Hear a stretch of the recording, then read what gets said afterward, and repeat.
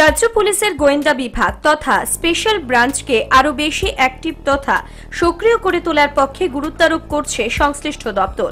সাম্প্রতিককালে মাদক বিরোধী অভিযানের ক্ষেত্রে পুলিশের গোয়েন্দা দপ্তরে একজন সক্রিয় কর্মী, সুশীল দেববর্মা, গ্রেপ্তার হওয়ায় অনেকটা সিরিয়াস বিভাগীয় দপ্তর। দপ্তরের তরফে সেক্ষেত্রে আরও কড়াকড়ি এবং আরও বেশি গতিশীলতা বাড়ানোর উপর গুরুত্বারোপ করা হচ্ছে। সংশ্লিষ্ট সূত্র অনুসারে বাম জামানায় রীতিমতো নিষ্ক্রিয় বিভাগ হিসেবে পরিণত হয়েছিল এই গুরুত্বপূর্ণ গোয়েন্দা দপ্তরটিকে। সূত্রের অভিমত, সেই সময়ে এই দপ্তরের উপর নানা প্রকার বাড়তি চাপ ছিল।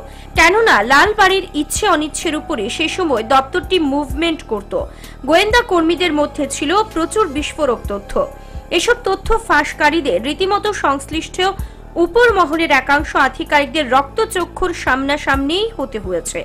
বাম জামানায় সেসব তথ্য এবং সত্যতা লাল বাড়ির দলীয় স্বার্থে তুলে ধরা হয়নি এবং এই দপ্তরটি স্বতন্ত্রতা কোনো কালেই থাকেনি। এই কারণে গোটা ত্রিপুরা রাজ্যের নেশা কারবারের উৎকৃষ্ট মূল্য তথা সেফ করিডোরে পরিণত হয়েছিল। রাজ্যে নতুন সরকার ক্ষমতাসীন হওয়ার পর স্বরাষ্ট্রমন্ত্রী তথা মুখ্যমন্ত্রীর করা নজরদারিতে প্রায় তিন দশক পর নড়ে চড়ে বসেছে গোয়েন্দা দপ্তর।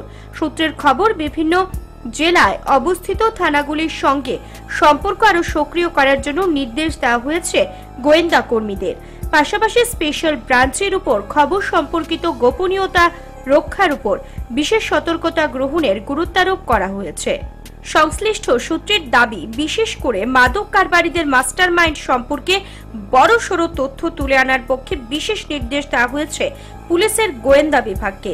এছাড়াও রয়েছে বিচ্ছিন্নতাকামী শক্তিগুলি সম্পর্কে তথ্য প্রদান, অস্ত্র কারবারিদের অবস্থান সম্পর্কে তথ্য প্রদান সহ সামাজিক অপরাধ সংক্রান্ত খবরাখবর প্রদান ইত্যাদি। সূত্রে জানা গেছে, গোয়েন্দা দপ্তরের কর্মরতদের স্বচ্ছতার উপর আরও বেশি প্রাধান্য কিংবা দৃষ্টি দিচ্ছে আরক্ষা প্রশাসন।